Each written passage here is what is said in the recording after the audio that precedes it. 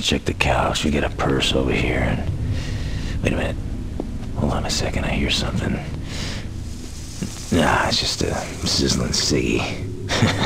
Never met an undead who didn't puff. Of course, I guess they uh, don't have much to lose. Alright, I'm searching her purse. Ah, big book here. Check today's entry.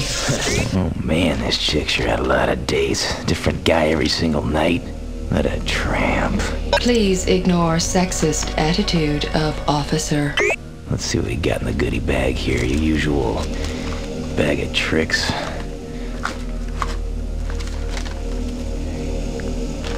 Oh, there's a paycheck from the late date dating service. I get it. She was scamming losers who can't get real dates.